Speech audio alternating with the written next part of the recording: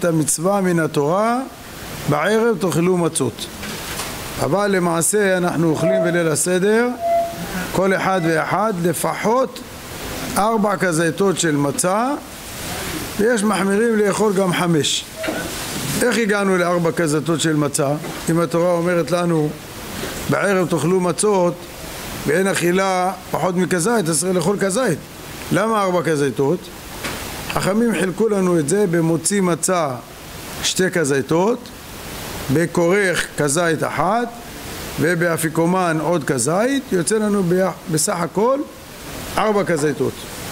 למה במוציא מצה אוכלים שתי כזיתות? לכאורה היה מספיק לאכול כזית אחת. אבל אומר הראש, יש לנו בליל הסדר דבר והיפוכו. מצד אחד אנחנו אומרים ליל הסדר זה יום טוב. יום טוב יש בו מצוות לחם משנה כמו שבת. אז לכן בכל הסעודות של יום טוב אנחנו לוקחים לחם משנה. מצד שני הגמרא אומרת למה המצה נקראה לחם עוני? מה עני דרכו בפרוסה? אף אנחנו דרכנו בפרוסה. כמו שהעני לא היה מקבל לחמים שלמים, היו להם חתיכות של לחמים אז גם אנחנו בליל הסדר אוכלים לחם עוני, לחם שהוא חתוך. לכן תקנו לנו חכמים מצוות יח"צ, שאנחנו חוצים את המצה לשניים, זה לחם עוני. שואל הראש, טוב, אם אתה היית לוקח רק שתי מצות והיית חוצה מצה אחת לשתיים, לא היה לך לחם משנה? מה היה קורה? נהיה לך מהשתי מצות מצה וחצי. אז מצה וחצי איפה הלחם משנה? לכן אומר הראש, אין לך ברירה, תשים בקערה שלוש מצות. קח את המצה האמצעית, תחצה אותה, קיימת בה לחם עוני. ואחר כך שתי המצות השלמות זה הלחם משנה. ולכן אנחנו לוקחים שלוש מצות. הרמב"ם לא למד ככה. הרמב"ם אומר, תשים בקערה שתי מצות. אחר כך מגיע היח"צ, תחצה מצה אחת לשניים. וזה לחם עוני. איפה הלחם משנה? אומר הרמב"ם, הלחם משנה של הלילה זה מצה וחצי, לא שתי מצות. זה הלחם משנה. התורה שאמרה לך לקחת לחם משנה, היא אומרת לך שבליל הסדר אתה לוקח לחם עוני, אתה חוצה את זה לשניים. אז זה הלחם, הלחם משנה, זה מצה וחצי. אבל הראש לא הבין ככה. הראש אומר, איך יכול להיות? לחם משנה צריך להיות לחם שלם. אז ממילא תיקח שני לחמים וגם את המצה החצויה שנמצאת באמצע, ככה קיימת גם לחם משנה וגם את העניין של לחם עוני. עכשיו, כשאנחנו מברכים המוציא לחם מן הארץ, אנחנו מברכים על השתי מצות והחצויה באמצע. אחר כך אנחנו שומטים את המצה התחתונה, נשאר לנו ביד מצה וחצי, ואנחנו מברכים עליה על אכילת מצה. הסתפק הראש איזה מהם זה המצה העיקרית. האם המצה העליונה זה המצה, או המצה החצויה זה המצה? אומר הראש מחמת הספק תאכל כזית מכל אחד. אז יוצא לך במוציא מצה שתי כזיתות, קח כזית אחת מהעליונה, כזית מהאמצעית. כי אנחנו לא יודעים בדיוק מה זה המצה שאמרנו שמוציא מצה, איזה, איזה מהם זה המצה. העליונה או האמצעית? אומר הראש תיקח משניהם. וכך פסק השולחן ערוך. השולחן ערוך פסק להלכה כדעת הראש, לא כדעת הרמב"ם. שאנחנו שמים בקערה שלוש מצות ואנחנו מברכים המוציא לחם מן הארץ על השתיים וחצי שומטים את המצה התחתונה נשאר לנו ביד מצה וחצי מברכים על זה על אכילת מצה ואוכלים כזית מהעליונה כזית מהאמצעית בא מגן אברהם שואל ורגע אני לא מבין אתה שולחן ערוך פוסק כותב את זה כמו הלכה פסוקה. בסדר. אבל אם אתה מדבר לגבי הבוצע שהוא באמת אוכל מהעליונה ואוכל מהאמצעית אז אני מבין. יאכל כזית מזה כזית מזה. אבל אם אתה מדבר על המסובים שממילא אי אפשר לתת להם מהצע שבירכת עליה. אתה חייב לתת להם מהמצות שבצד. אז אתה כבר נותן להם מצה מהצד. זה לא העליונה ולא האמצעית אז תיתן להם כזית אחת ותגיד אם העליונה העיקר אז זה מכוון כנגד העליונה. אם האמצעית עיקר, זה מכוון כנגד האמצעית. מספיק לתת להם כזית אחת. למה צריך לתת להם שתי כזיתות? כך שואל המגן אברהם על מרן. אומר הרב בן ציון אבא שאול עליו השלום, המגן אברהם שאל, המגן אברהם לא חלק. שאל שאלה, הוא אומר, אני לא מבין, למה מרן אומר שיאכלו שתי כזיתות? הרי זה טוב רק לבוצע, המסובים, ממילא מקבלים מהצד, מהצד תיתן להם כזית אחת, תגיד, זה מכוון לנגד מה שצריך, או העליונה או האמצעית. אומר הרב בן ציון, טוב, משאלה לא מתים ומשאלה לא משנים הלכות. הוא, הוא שאל שאלה, אבל הוא לא חלק על מרן, הוא השאיר את הדין כמו שהיה. לכן אומר הרב בן ציון, במוציא מצה צריך לאכול שתי גזייתות כולם, לא רק הבוצע, גם שאר המסובים צריכים לאכול שתי גזייתות. ככה אומר חכם בן ציון, ככה הוא מבין בדעת המגן אברהם. עכשיו אני רוצה לשאול אתכם שאלה רבותיי, תגידו לי אם אתם מרוכזים, כי אני רואה שכולם טרודים עם כל הבלאגן שיש בחוץ, אז uh, זה מבלבל את הדעת. אני מבין, אני מבין, זה באמת מבלבל את הדעת. אבל בואו נלמד קצת תורה, יהיה לנו יישוב הדעת בעזרת השם. אז עכשיו אני חוזר, אני רוצה לשאול שאלה. שמעתם מה שאל המגן אברהם על מרן או אתם רוצים שאני אחזור על זה עוד פעם? אה? שמענו, יפה. אז עכשיו אני שואל, מה המגן אברהם הבין בדעת מרן? שמה מרן סובר? מי צריך לאכול שתי כזיתות? רק הבוצע או כולם? כי רק הבוצע יש לו את זה ביד. מה מגן אברהם הבין בדעת מרן? אה? הוא הבין על כולם. כן? גם אתם מסכימים ככה? הבנת את השאלה מה אני שואל? מה? לא, הוא שאל על מרן, מרן פסק כמו הראש. מרן והראש זה אותו דבר, מרן פסק כמו הראש. אבל מגן אברהם שאל עליו שאלה. מה, מתוך השאלה שלו, מה אתה מבין? מה הוא הבין בדעת מרן? מי צריך לאכול שתי כזיתות? כולם או רק הבוצע? אחרת מה היה השאלה שלו? אם הוא היה מבין שזה רק הבוצע, מה הוא שאל? הוא הבין במרן שמרן אומר שצריך לתת לכולם ועל זה הוא שואל, אני לא מבין למה או, אבל מה, מה מגן אברהם למד בדעת מרן? שמרן מצריך את כולם לאכול שתי כזיתות, יפה עכשיו אומר חכם בן ציון, נכון, זה ההבנה בדעת מרן. יש לך על זה שאלה, בסדר. משאלה לא עוקרים הלכה. משאלה לא, לא מתים. בסדר, לכל שאלה יש תשובה. סיפר לנו הרב בן ציון אבא שאול עליו השלום שפעם הוא היה הולך בדרך עם רבי עזרא עטיה, ראש ישיבת פורת יוסף, אז עצר רבי עזרא עטיה, תפס לו את היד, אמר לו, תדע לך, היום התיישבה לי קושייה שכבר יושבת לי בראש ארבע שנים. ארבע שנים היה לו שאלה בראש, והוא כל הזמן היה מנסה למצוא לה תירוץ, כל הזמן מנסה לה תירוץ.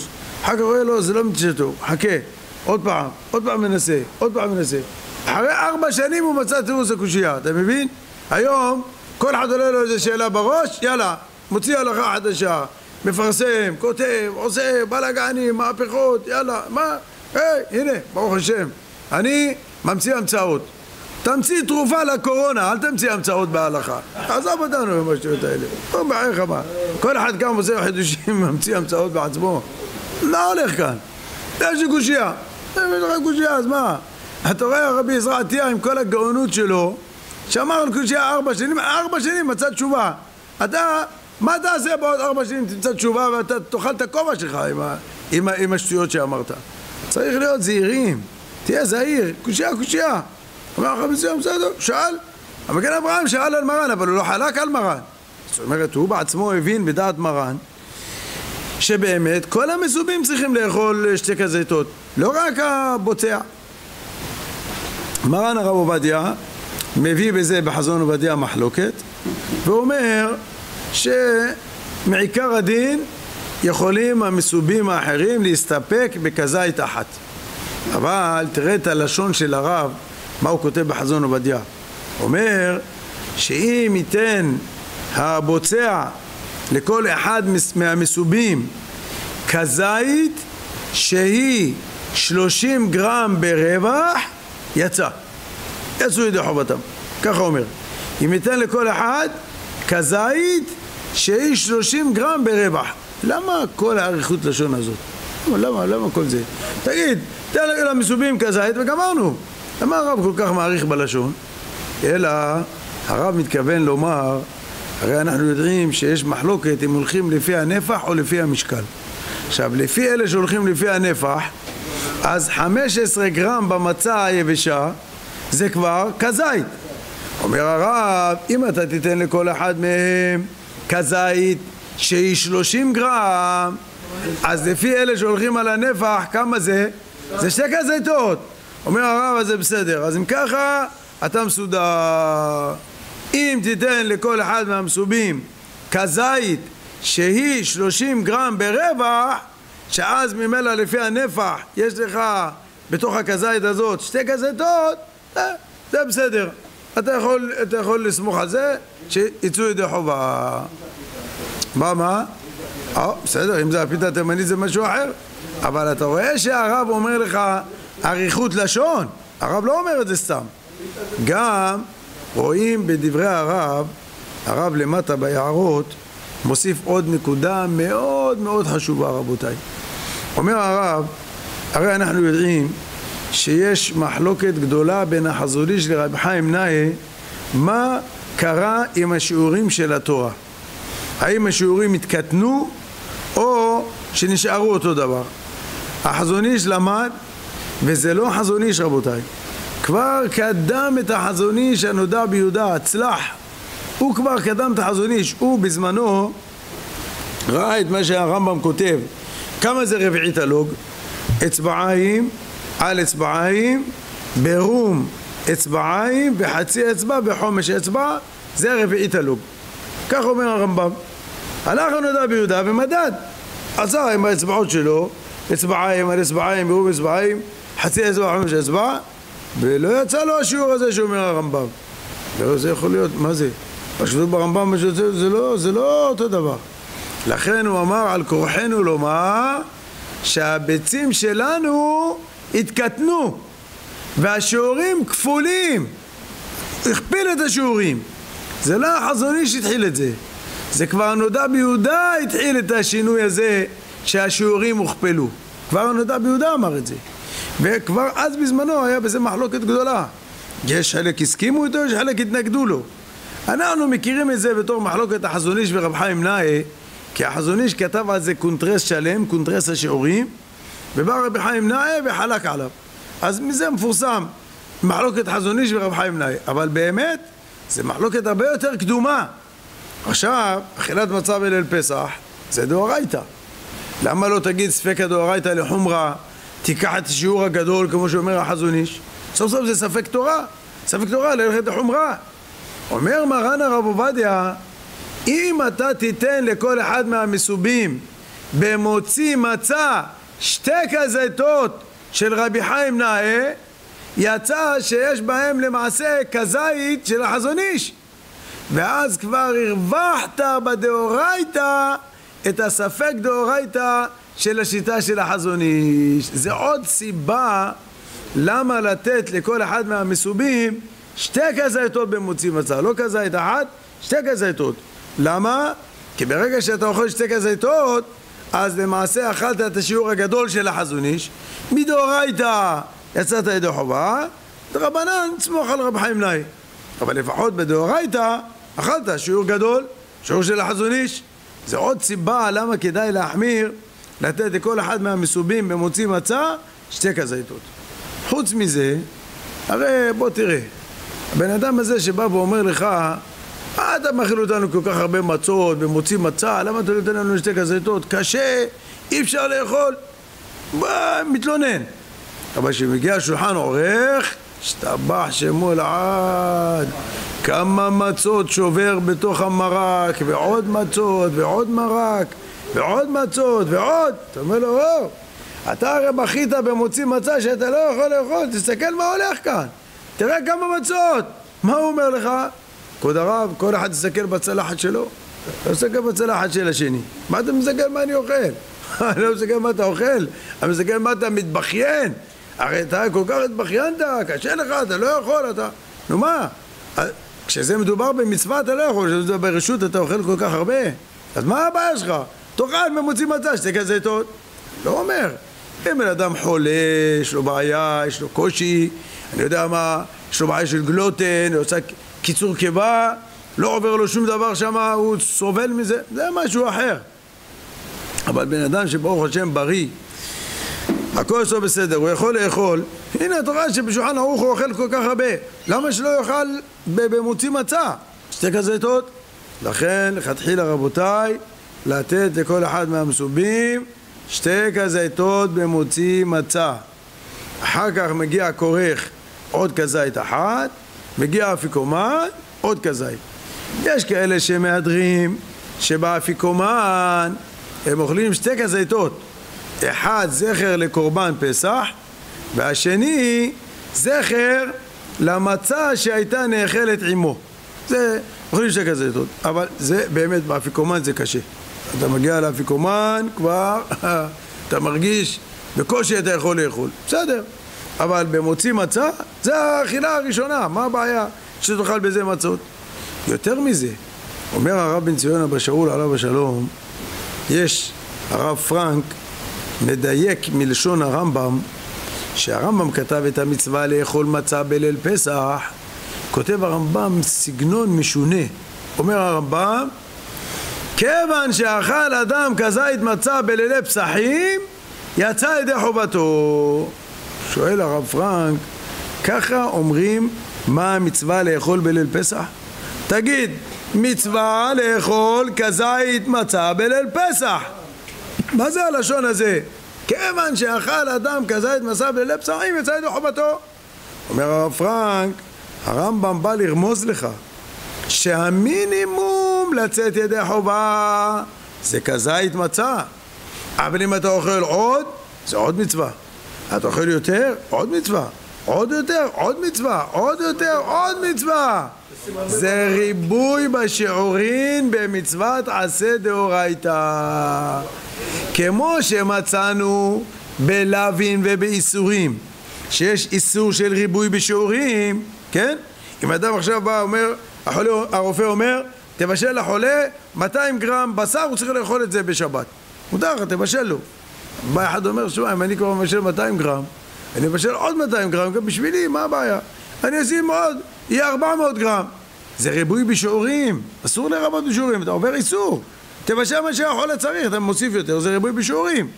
אומר הרב פרנק, משמע מדברי הרמב"ם, כמו שיש ריבוי בשיעורים בלאווים, באיסורים, יש ריבוי בשיעורים במצוות עשה.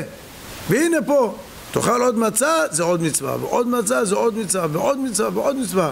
עד שהיה אומר הרב בן ציון אבא שאול עליו השלום, הלילה הזה כולו מצה, תאכל מצות, כמה שאתה יכול. אפילו בשולחן עורך, הוא אמר לנו שהוא היה אוכל כזית בשר וכמה כפות מרק. זהו. וכל השאר, מצות, מצות, מצות, מצות. כמה שאתה אוכל יותר מצות, אתה מקיים יותר מצווה. וזה רק הלילה. מחר, גמרנו. יבוא אחד, יבוא יגיד, אתה יודע מה? אבל שוח אותי בלילה כל כך הרבה מצות. אני אוכל עכשיו. גמרנו. אתה בליל פסח תאכל, לא אחרי זה. אתה תשאיר את העופות, הבשר, הדגים, הסלטים, המטבוחה, הזה. כל השבעה ימים יש לך מה לאכול, אל תדאג, אל תדאג, יש לך מספיק מה לאכול. תראה, במוצאי פסח אנשים יוצאים דובונים, דובונים, כל אחד נהיה דובון. למה? אוכל ואוכל ואוכל ואוכל ואוכל.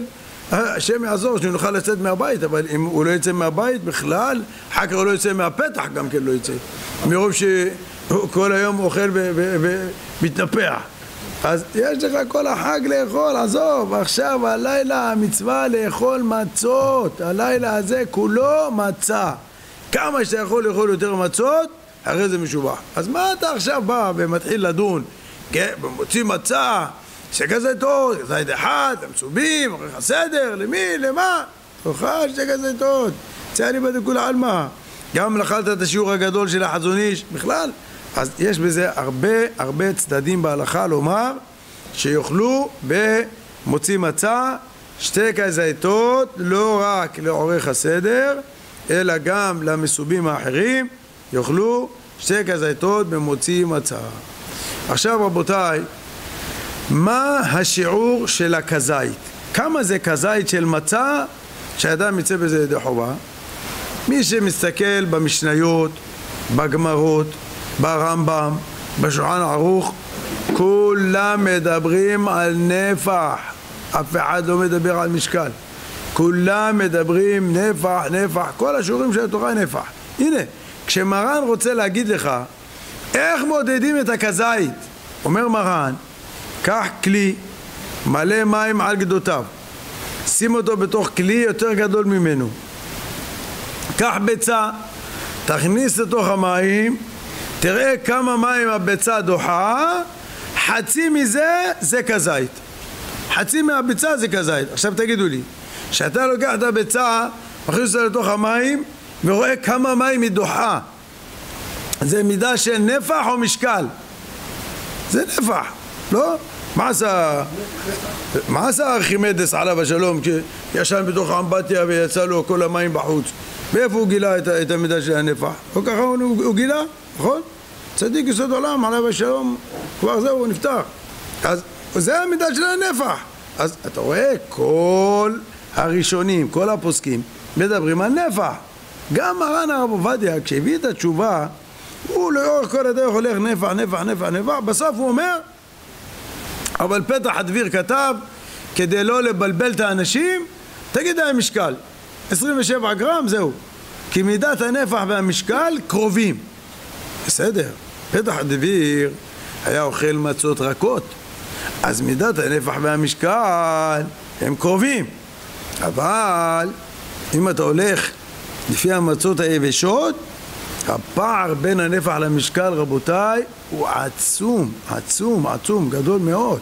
תסתכלו, לקחו קובייה של 27 cc, הסטייפלר עליו השלום, לקח מצד מכונה, טחן אותה לקמח, ומילא את הקובייה של ה-27 cc בקמח הזה של המצה. כמה יצא לו? 11 גרם.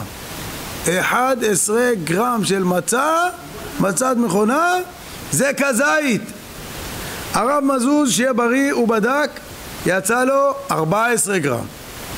חכם בן ציון אבא שאול עליו השלום, הוא לא מדד, הוא הלך לפי פירוש המשניות של הרמב"ם בעדיות, יצא לו 18 גרם. טוב, בסדר, אבל 18 זה לא 30. אתה בא לאנשים ונותן להם חתיכה של מצה, 30 גרם זה בומבה של מצה. אתה אומר לבן אדם, תשמע, תאכל את זה, ואחרי שאתה גומר את זה, יש לך עוד כזית אחת.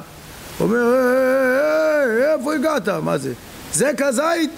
לך לסופר, תראה בתוך הצנצנת, יש שם זיתים הכי גדולים, נכון? בגודל הזה. איך הגעת מדבר כזה לכזה בומבה? אז מה? אז הם שוברים חתיכה אחת, אוכלים את זה, מחזירים לך את הכל, אומרים לך, תשמע, תאכל את זה אתה במקומי, ואני אצא ידי חובה מדין רואה כאוכל. תעזוב אותי, אה, דקה, דקה, זה לא... אה, יותר מדי. אתה נותן לו חתיכות גדולות, ענקיות, ממש ענקיות, רבותיי, 30 גרם זה, זה כפול ממה שצריך. כפול ממה שצריך. נו, כמה אתה יכול? עכשיו תבינו, כל זה, אם אנחנו, גם בנפח, אם אתה הולך לפי התוספות, שהכזית זה חצי ביצה, אבל אם אתה הולך לפי הרמב"ם והריף, שהכזית זה שליש ביצה, בכלל אתה... תודה רבה. השיעורים הרבה יותר קטנים, הרבה יותר קטנים. ולכן, רבותיי, אי אפשר להגזים סתם לתת לאנשים שיעורים גדולים. עכשיו תראו מה קורה. אם אתה אומר לאנשים שהכזית זה 30 גרם, גם במצה קשה, אתה יודע מה קורה? באמצע פסח, אנשים לוקחים מצת מכונה, שוברים ממנה חתיכה קטנה, אוכלים והולכים. אתה אומר לו, היי, מה עם ברכת המזון? הוא אומר, פחות מכזית לא חייב ברכת המזון. המצה שוקלת 30 גרם, שברתי ממנה חתיכה, זה כבר פחות מ-30, פחות מ-30 זה פחות מכזית. עכשיו תשים לב, לפי הסטייפלר הוא כבר אכל כביצה וחצי, הוא חייב ברכת המזון גמור. לפי הרב מזוז הוא אכל כביצה, שתי כזיתים. לפי חכם בן ציון הוא אכל כזית וחצי. אבל לכולי עלמא הוא אכל שיעור ברכת המזון. והוא לא מברך, הוא הולך. הוא אומר מה, אני, מה אכפת לי? הרב עובדיה אמר 30 גרם? אין 30 גרם. אז זה לא, לא כזית. זה לא נכון. מה אתה מדבר? אתה אכלת הרבה יותר מכזית, לכולי עלמא אכלת הרבה יותר מכזית.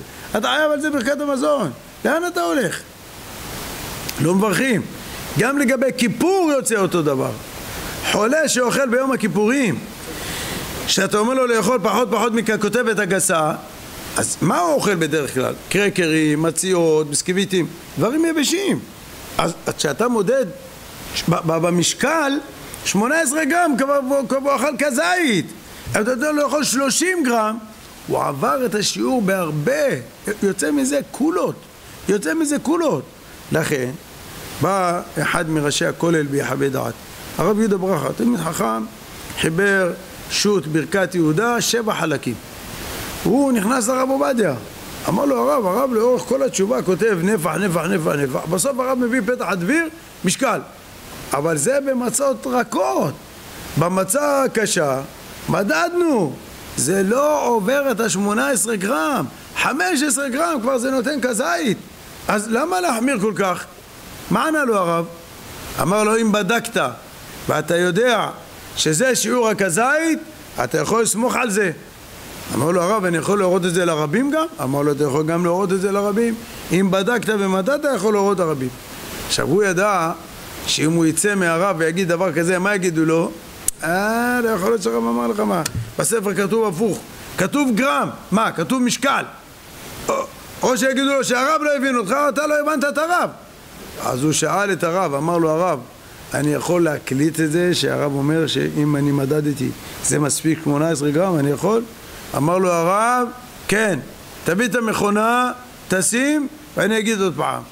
הוא הביא את המכונה, שם, והרב חזר ואמר, אם מדדת ואתה יודע את השיעור, אתה יכול לסמוך על זה וגם להורות האחרים.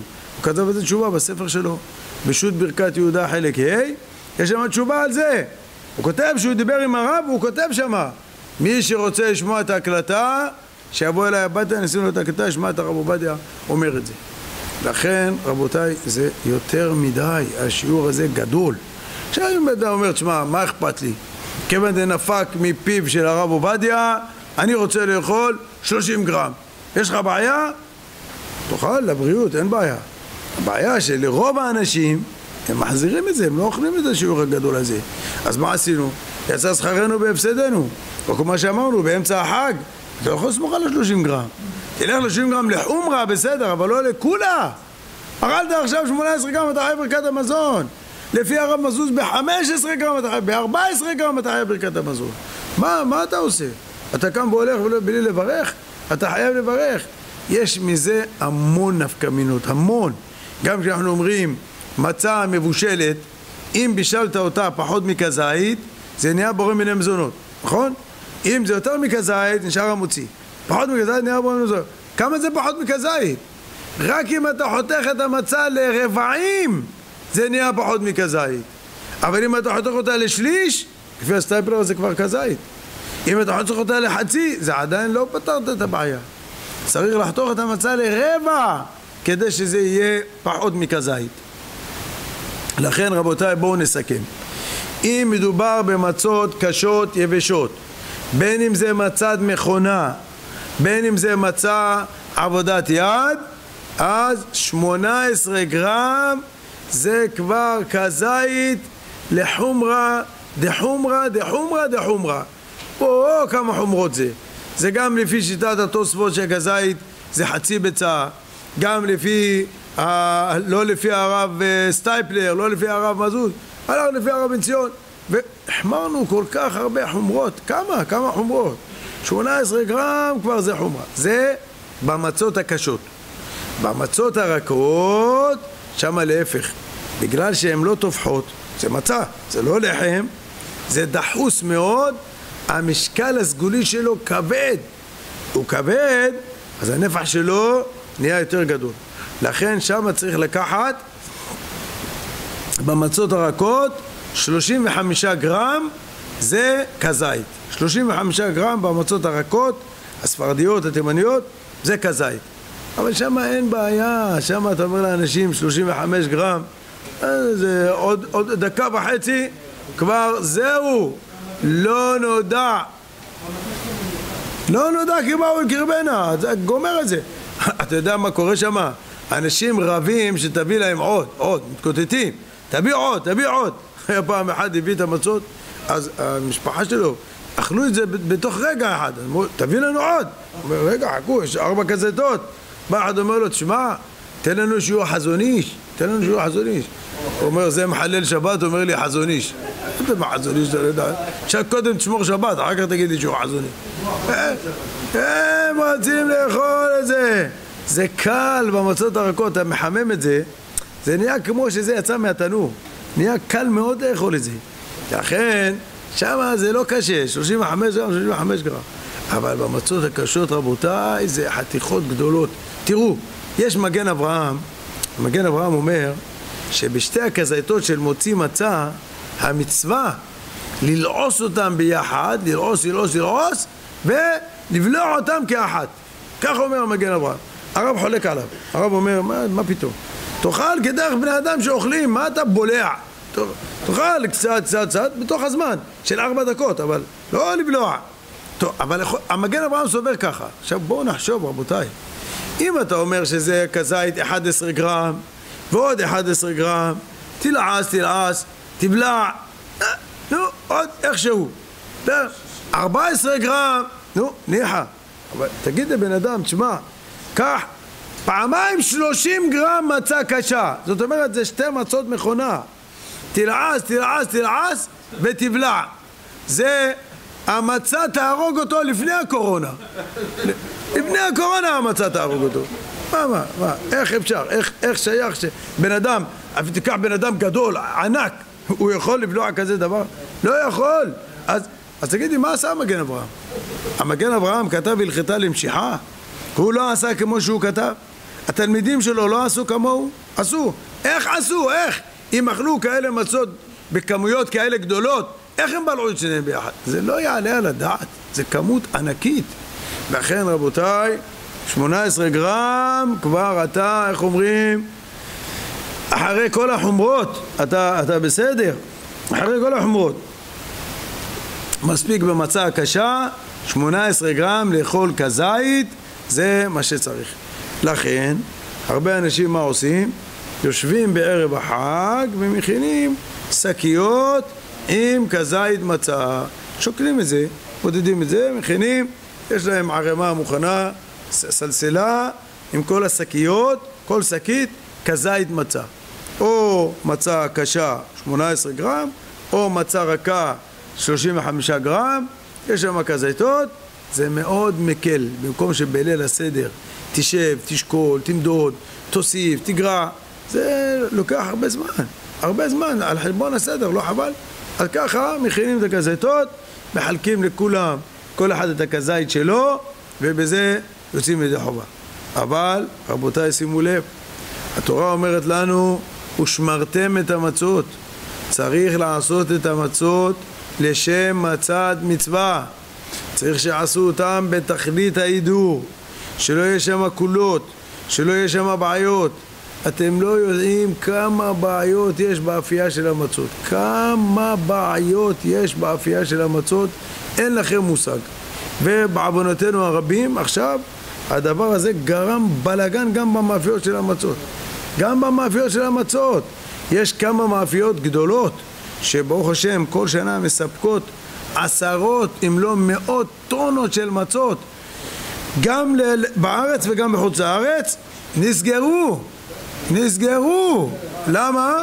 היו שם חולים, השם הצילנו והכניסו את כל העובדים שם לסגר ואת המנהלים בעצמם הכניסו לסגר המאפייה נסגרה וואו, נהיה בלאגן, נהיה עומס על המאפיות האחרות, ובאים לשם כל מיני פועלים, כן ירא שמיים, לא ירא שמיים, יודעים את העבודה, לא יודעים את העבודה, בלאגנים הולך, אין לכם מושג. יד ימין לא יודע מיד שמאל, זה לא יודע מי זה, הוא לא יודע מה, היום הייתי באיזה מאפייה, הבן אדם בא אומר, תגידו, מה עם המים שלנו? מה, מה, לא הלכת אתמול להביא מים שלנו? אומר, אני אמרתי לך. הוא אומר לא, הוא אומר לא, נשארו בלי מים שלנו. זה לא יאומן, זה לא יאומן. מסכנים מרוב לחץ, מרוב בלאגן, מרוב... זה, זה, הכניסו אותו להסגר, זה פתאום הלך לשם, זה קרה לו ככה, זה נהיה לו ככה, וואי, איזה בלאגן הולך. איזה בלאגן הולך. זה יוצר, רבותיי, בסוף, חס ושלום, זה עלול לפגוע בכשרות. בסוף זה עלול לפגוע בכשרות. צריך לעמוד על המשמר ולבדוק ולהסתכל ולראות שהכל באמת בסדר ושלא מחפשים קולות ולא... זה לא, לא קל, לא קל. לכן, היה אומר הרב בן ציון אבא שאול עליו השלום, המצות מעבודת יד, או שהן מהודרות מהודרות, או שהן חמץ. אין באמצע, זה או כאן או כאן. זה צריך להקפיד מאוד, שיעשו את זה באמת עם כל החומרות ועם כל ההידורים, והכזיתות של המצווה שאוכלים בליל הסדר, מצא עבודת יד. אנשים תמימים, מה אומרים? לא, שמורה, שמורה, יש לי שמורה. קניתי שתי, שתי קילו מכונה שמורה, ברוך השם, שיאכלו ברווח, מה, אין בעיה, שיאכלו ברווח. מה, מה יאכלו ברווח? זה אי אפשר לעשות אותם לשם עשת מצווה. זה מכונה עושה אותם, זה לא בן אדם. צריך שבני אדם יעשו את זה והדעת שלהם תהיה לשם עשת מצווה. אז לכן לא מספיק שמורה רבותיי, לא מספיק שמורה, צריך עבודת יד לכזיתות. חוץ מהכזיתות, מה שאתה אוכל בשולחן עורך, תאכל, אין בעיה, תאכל נוסעת מכונה. באמצע השבוע בחג, רק שלא יהיה חמץ, אין בעיה. אבל בליל הסדר צריך מצות עבודת יד שעשו אותם לשם עשת מצווה ועשו אותם בתכלית ההידור עם כל החומרות וההידורים. הייתי באיזה מאפייה לפני שבועיים. אני שואל שם, תגידו לי, באיזה שלב אתם מוציאים את החלה? איפה אתם מפרישים חלה? אז זה שעושה את הבצק, אומר לי, לא, זה שם, בסוף התנור, הם עושים את זה. עכשיו אני הולך לסוף התנור, אני אומר, תגיד, עושה פה חלה? אומר, מה פתאום? רוצה להפריש חלה בעיסה? מה נהיה?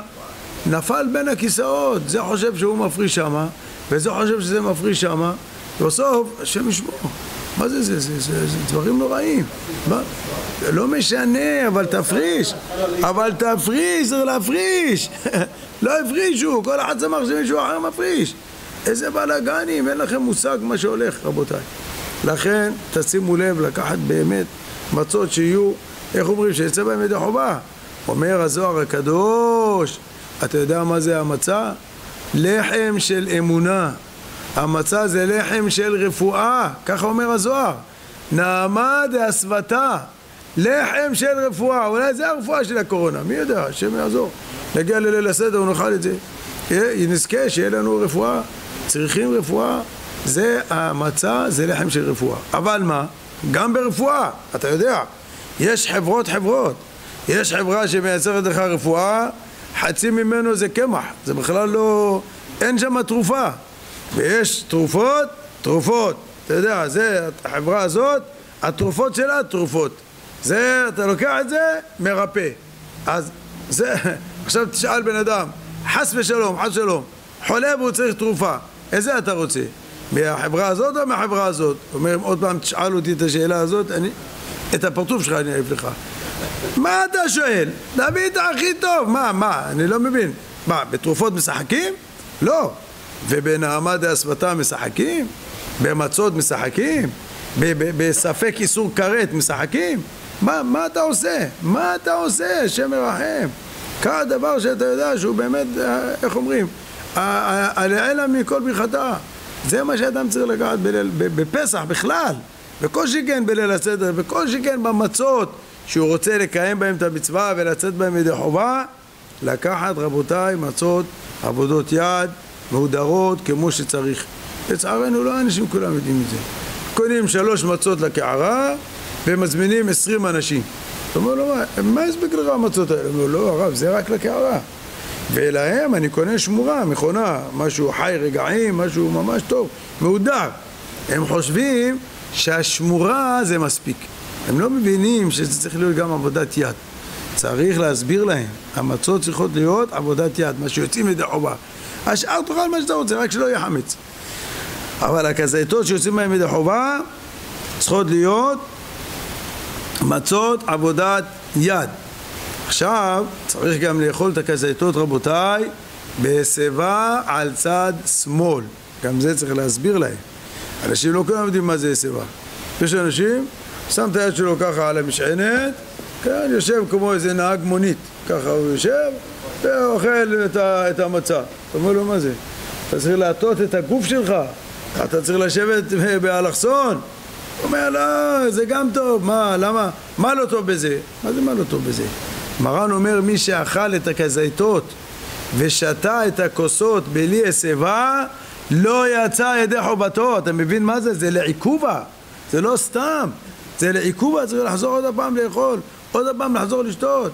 צריך לשבת על צד שמאל ממש. הרב בן ציון אבא שאול עליו השלום היה אומר לנו, לכל הפחות זווית של 45 מעלות. מינימום 45 מעלות. אתה מבין מה זה? אני חושב צריך בליל הסדר, חוץ מכל מה שמביאים, תביא מת זווית של הבית ספר. תעבור ליד כל אחד, בוא'נה, נראה, איפה? עוד חמש מעלות, עוד... תכוון אותו, שיהיה בזווית הנכונה, אבל לא ככה יושבים סתם, יושבים ככה סתם, ככה יושב ואוכל את זה בתענוג, זה לא ככה הולך. אלא מה? יבוא אדם ויטען, אבל בימינו זה לא דרך חירות, זה עינוי לשבת ככה. לכאורה, הוא צודק. ברוך אתה אדוני אלוהינו מלך העולם שהכל נהיה בדברו.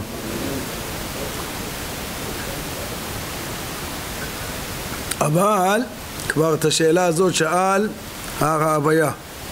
הרעביה, רבנו אבי העזרי, הוא טען את הטענה הזאת. הוא אומר, זה בזמנם שהיו יושבים על כרים וקסתות, חנמי, באמת, אתה מסב על צד שמאל, מה זה יושב כמו מלך. אבל היום שאתה רגיל לשבת על כיסאות, יושבים אנשים זקופים, פתאום אתה עושה אותו ככה, כמו איזה אשם תלוי, אתה מפיל אותו על הצד. מה זה הדבר הזה? בשביל מה צריך את הסיבה הזאת? מביא אותה בית יוסף ואומר, כל הראשונים חולקים עליו. לא מסכימים איתו. צריך לשבת כדרך בני חורין, בשיבה על צד שמאל. זאת אומרת, הטענה שלך כבר נשמעה ונדחתה. זהו. אתה לא האדם הראשון, פתאום עכשיו באת תמציא לנו הלכות חדשות. שמענו את הטענה הזאת, הבית יוסף מביא אותה ודוחה אותה. זהו, אין, אין הלכה כמוהו.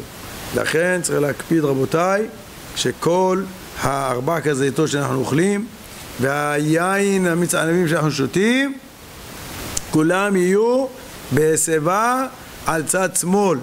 ואומרים התוספות, הסבה, המשמעות שלה שאתה נשען על משהו.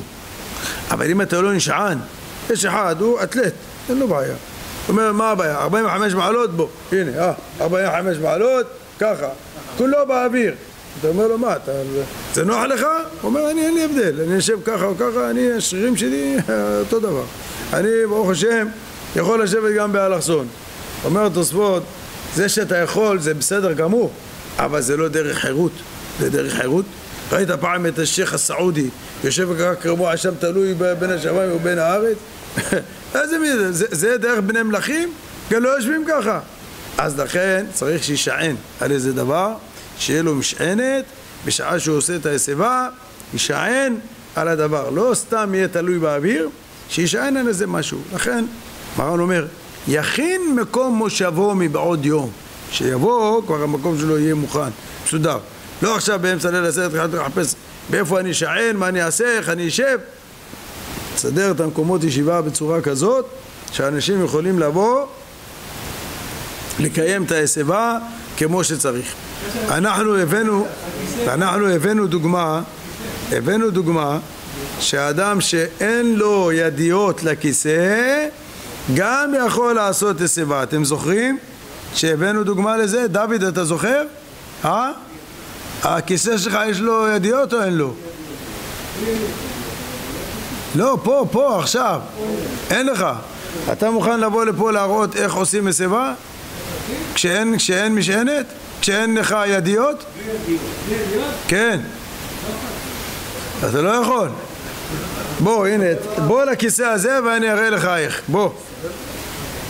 כן, כן, ודאי. כן, הנה, הנה דוד. לא, לא, לא, בדיוק. שים את הכיסא, עזוב את ההוא, עזוב את ההוא, שב על זה. כן. עכשיו, תסתובב אתה, לא, אליהם, אליהם. כן, יפה. ותעשה שיבה בצד שמאל על זה, יפה, כן, כן, כן, בדיוק, או ככה, או תכניס את היד שלך, תשען עם הכתף. כן, ככה, לא יותר מדי, כן, מספיק, הבנת? הנה, אז אתה יכול לעשות ככה שיבה גם כן. גם אם אין לך ידיות, אתה יכול לעשות שיבה כמו שהראינו. ראיתם שם בחוץ או לא ראיתם? לא ראיתם? איפה הוא יישב ואתם תראו אותו? על הבימה? אה, בוא, בוא, דוד, בוא תעשה למצלמה, דוד. בוא. עכשיו אתה תתפרסם בשידור חי בכל העולם. יש טבח שמולעת. אגרה תשלם לי אחר כך. בוא. תשב. אה, שלא תיפול. בוא, כן. קח את זה עד פה. יופי, שב. שב, שב. יפה. תשען עם ה... יפה מאוד. אה. או ככה. כן, אבל תסתכל למצלמה, לא אליי. כן, זהו. חזק וברוך. אה? זהו, עם הכתף יותר טוב, עם הכתף, תראה להם עוד פעם. תלך קצת לקצה של הכיסא. לא, לא, לפה, לפה. יפה, עכשיו תשע. חזק וברוך. כן. זה הלוחץ מעלות? 45 מעלות, מצוין, חזק וברוך. הנה, יצאת לעילא מכל ברכתה. עכשיו נהיית מפורסם, חבל על הזמן. חזק וברוך. הנה, ראיתם? רבותיי, אני רוצה לומר, כש, כש, כשבן אדם רוצה, יש פתרון לכל דבר. כשבן אדם לא רוצה, אומר אי אפשר, אני לא יכול, עזוב, אין פה משענת, נו יאללה בוא נמשיך. לא נכון. אם אתה רוצה, יש פתרון. תשתדל, תתאמץ קצת, תמצא פתרון לכל דבר. אני...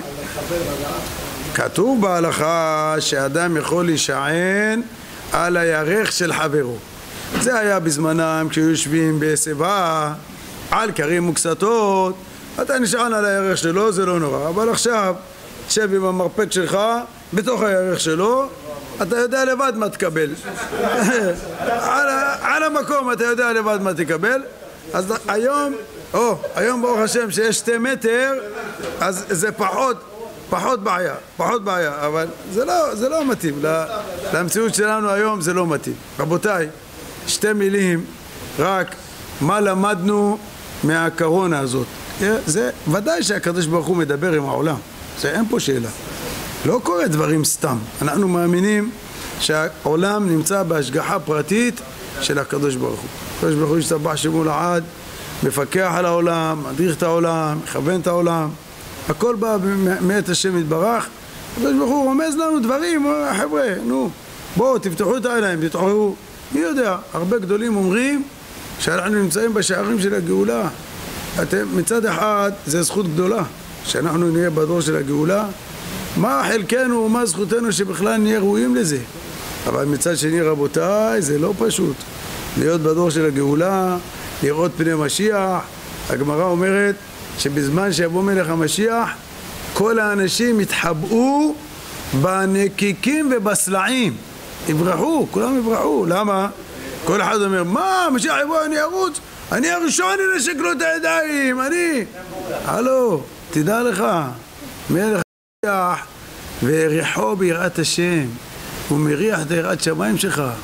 יש אנשים נודף מהם ריח של בושם, ריח תענוג. יש אנשים, המשיח אומר, "שה, וואו וואו וואו, תלך, תלך, תעמוד שם בצד, לא שתי מטר, שתי קילומטר. לך, לך הצידה, חביבי. אתה, הוא.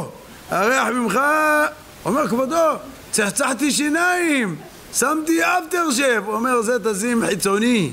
הפנימיות שלך, ריח איום ונורא. זה השם מרחם. הוא רואה אותך שקוף, שקוף. זה לא, אז חושבים, מה, אני אבוא למשיח, כן, תבוא למשיח. אמן, שתהיה ראוי, תבוא. אבל זה לא פשוט. זה לא פשוט לבוא למשיח. בכל אופן, מה למדנו רבותיי? הרמב"ם כותב בהלכות תשובה לעולם יראה אדם את עצמו חציו זכאי וחציו חייב עשה מצווה אחת הכריע את עצמו ואת העולם כולו לכף זכות עשה חס ושלום עבירה אחת הכריע את עצמו ואת העולם כולו לכף חובה עכשיו אדם קורא דבר כזה אומר נו באמת אני במעשה שלי מעשה כזה קטן אני יכול להכריע את העולם לכף זכות? מי אני? מה, מה, המעשים שלי כאלה, מה, שאני אכריע את העולם? ואותו דבר להפך. לא, עשה, עשה עבירה אחת. עבירה אחת הכריע את העולם לכף חובה? זה לא נשמע מוגזם. זה מוגזם, מה? עבירה אחת. אומר הקדוש ברוך הוא, אתה יודע מה? בן אדם אחד היה לו חיידק, הדביק את כל העולם. את כל העולם הדביק בן אדם אחד. תבין מה זה עבירה. תבין מה זה עבירה. אתה עושה עבירה אחת, מכריע את כל העולם לכף חובה. זה לא גוזמה. לא גוזמה. הנה ראית. בן אדם אחד, תראה מה, תגיד מה, בן אדם אחד מתוך מיליארדים? נו באמת? מה כבר הוא יכול לעשות? הוא אומר, הוא לעשות? תראה מה הוא עשה. תראה איזה חורבן עולם, תראה איזה חורבן עולם עשה. ממה? מחיידק אחד שהיה בו, תראה מה עשה, הדביק את כל העולם. זה צריך לתת לנו מוסר השכל. זה לא סתם מה שהרמב"ם אומר, שעשה עבירה אחת, הכריע את עצמו ואת כל העולם לקו חובה, זה העבירה. החיידקים של העבירה משפיעים, משפיעים, משפיעים. יש להם גלים, גלים, גלים, גלים, גלים, זה משפיע. כל מעשה של עם ישראל, של יהודים, משפיע על כל העולם. משפיע על כל העולם. אם לטוב ואם למותר. אז כשאדם יודע שיש על הכתפיים שלו כזאת אחריות, הוא נזהר. אז אדם אומר, שבא, אוי ואבוי. אם זה חשבון פרטי שלי, טוב, אני אסתדר עם הקדוש ברוך הוא. אבל עכשיו חשבון של כל העולם? חשבון של כל העולם אני אקח על עצמי? אם הבן אדם הזה היה יודע מה המחלה שלו הייתה יכולה לעשות בעולם, היה מעדיף להתאבד ולא לעשות את זה. אבל תראה מה קרה, בסוף תראה מה נהיה. זה השפיע, השפיע, השפיע, השפיע, השם מרחם. רק הקדוש ברוך הוא יודע איפה זה יעצור הדבר הזה. זה מה שאומר הרמב"ם. אדם צריך להבין את המשמעות של המעשים שלו. אתה יכול לעשות מעשה אחד טוב והגלים של זה ישפיעו על האנשים שלידך ובסביבה שלך ואחר כך מהם לאחרים, לאחרים, לאחרים, לאחרים עד סוף העולם. וחס ושלום אתה עושה עבירה או שאתה עושה איזה מעשה רע או שאתה עושה איזה דיבור או משהו שזה לא, זה לא מתאים זה יכול לעשות נזקים, נזקים שאתה לא יודע איפה הנזקים האלה יעצרו, אתה כבר לא תשלוט עליהם, על הנזקים שהאדם יכול לעשות מעבירה אחת שהוא עושה. לכן אומר הרמב"ם, תמיד אדם צריך להיות זהיר, להרגיש שהוא עכשיו נמצא בכף המאזניים. עכשיו אתה בכף המאזניים, חס ושלום, עבירה אחת, וזהו, כל העולם מידרדר מי יודע לאיפה. אבל מאידך גיסא, אם אתה שומר על עצמך ואתה עושה רק מצוות ומעשים טובים, אז גם לזה יש תולדות ותולדות של תולדות. זה צריך לחשוב על זה כל הזמן, רבותיי. מה המשמעות? של כל פעולה שאנחנו עושים. כל דיבור, כל מעשה שאדם עושה, עד לאיפה המשמעות שלו יכולה להגיע. ובעזרת השם נזכה והקדוש ברוך הוא יושיע את כל עמו ישראל באשר הם, שהבריאים שלא יחלו, והחולים שיתרפאו, ובעזרת השם באמת נזכה לגאולה השלמה במהרה בימינו, אמן סלע. רבי חנניה בן הקשה אומר, רצה הקדוש ברוך הוא לזכות את ישראל. לפיכך ירבה להם תורה ומצוות, שנאמר אדוני חפץ למען צדקו יגדיל תורה ויאדיר. יתקדן ויתקדש שמי רבה.